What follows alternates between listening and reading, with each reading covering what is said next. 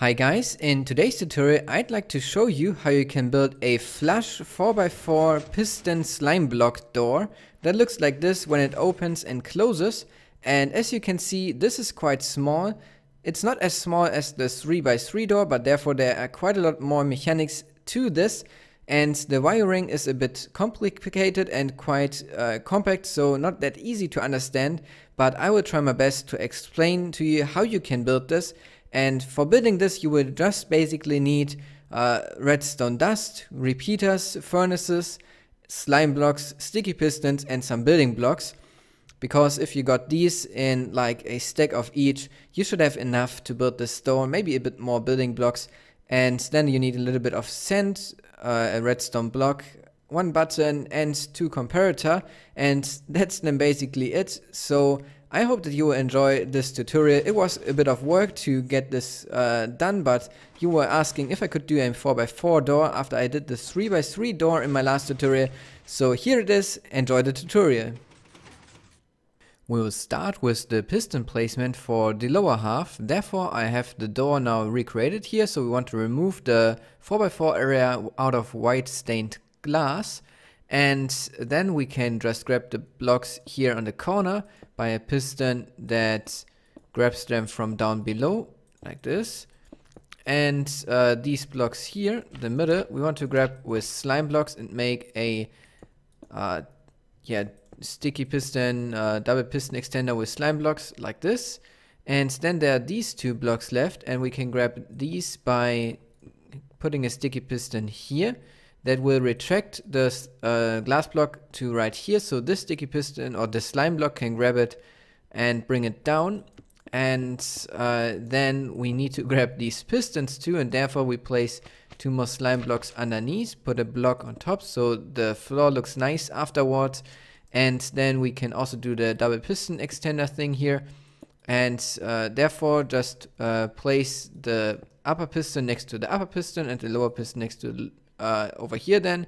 And over here we do it the other way around. So the lower piston is next to each other and the upper piston right here. And then you have already all the pistons for the lower half in place. Now we want to wire all these pistons up and since this is a bit complicated, watch carefully. So first up we go to these pistons and place blocks underneath. Then blocks next to it so we can power these blocks with redstone. And then we need a block here. So if we place a repeater here on a third delay, we can uh, yeah, power these pistons with three ticks. Then we want to place a block on top of here, place a repeater on the second delay and a furnace in front, then place another block on top of this block and a redstone dust and a furnace next to it. So this will power these three pistons here. And uh, then we can connect them by, yeah, let's just start on this side. We want to have uh, a block also next to this piston so we can wire it up like this and then we place a repeater on the first delay right here and this will be connected just through a few more blocks like this going up and then to down again and then over here we go up again by one block so we can um, have a block here and then a redstone dust here which will power the block and the repeater down there then a redstone there which will power this piston and we will power this redstone by a block next to it and a repeater on the first delay. And then we can just connect this with redstone dust and bring it all over the place and uh, then we should have this already powered uh, or wired so we can just try it out place a redstone block and as you can see all the pistons extend and if we take away the power it will retract again. But if we bring the power again you see that these aren't powered so we can place six furnaces on both sides. Just like this and uh, then bring in a block, a half slab and then from here we can just build a staircase going up to this half slab and bring the power in And as you can see, this is now extended. Same on this side, just we also already have one step there, so we need one step less. Then place the half slab and connect this with redstone. And then it's time to try it again. Remove the block, everything goes down. Place the block, everything goes up. And the first half of the door is done. For the second half of the door, we again take slime blocks and as for the 3x3 door, we are using a trapdoor mechanic, but this time it's more complicated because we want to grab the blocks from the center. As you can see, when I extend the bottom thing here, we can't have any slime blocks in this area because then they would just stick together and we can't open the door anymore. So in this case, I've got the slime blocks here on the sides like this and uh, then we grab the blocks from the middle with the sticky pistons right here and that is kind of the trapdoor mechanic with slime blocks. Then we will uh, grab the blocks yeah, from the center like this and uh, then we will grab uh, the slime blocks just with one sticky piston. So like this let me do it also on the other side so we can see it in action. So we're grabbing uh, all these blocks.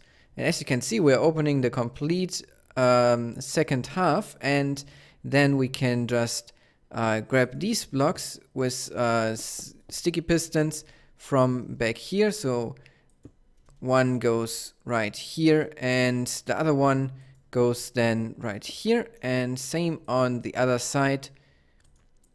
One here and one there. And then we've got the pistons in place because when I grab this and this, the door is opened. The redstone for these sticky pistons is quite complicated because we need to get a lot of timings right, but the good thing is that we can mirror it. So I already built it on one side and we can now wire up the second side together and you can just mirror it. Uh, so what we want to see then is that it does this.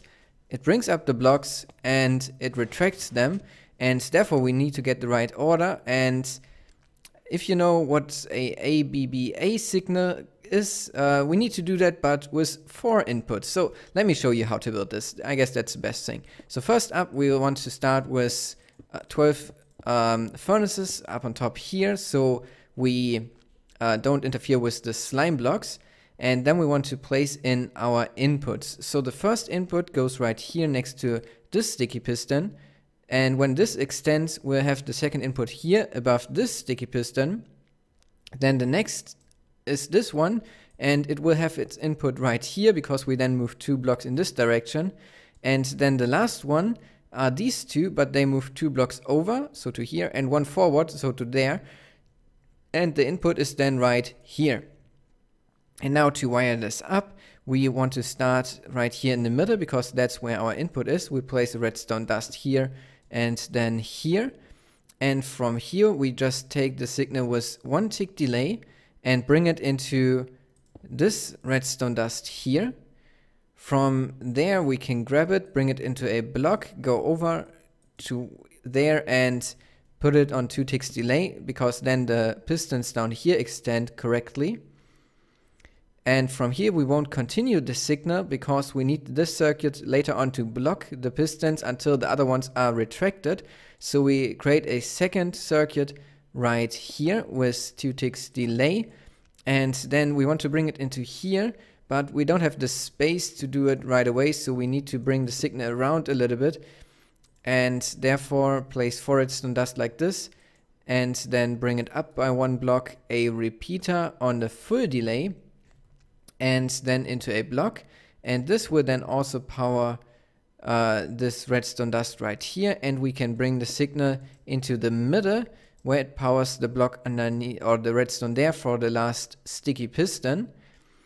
But now the problem is that we won't retract correctly. You see the extending works, but the retracting, it just leaves the blocks there. So uh, we need to um, yes, keep the power inside until certain parts are done.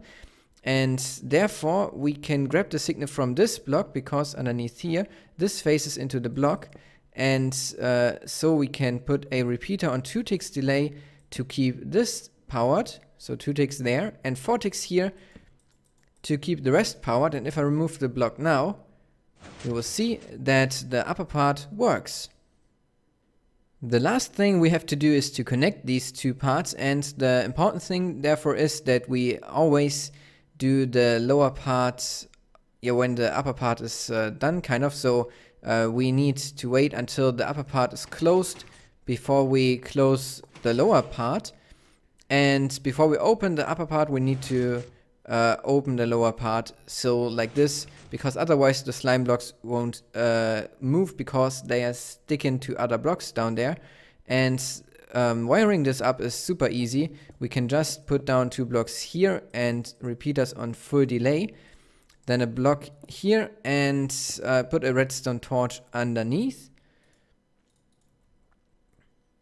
like this this will now extend the part, but that doesn't really matter. Then we want to have a sticky piston here with a block on top. And then you need to grab a gravity block like sand or gravel and bring it up to right here and have a repeater there and then a block here and a repeater here. This is without delay and a redstone block there. And if we power now the redstone torch down there. We'll unpower the whole thing and the door will open, but this one was now quite short, so we want to add a pulse extender as well.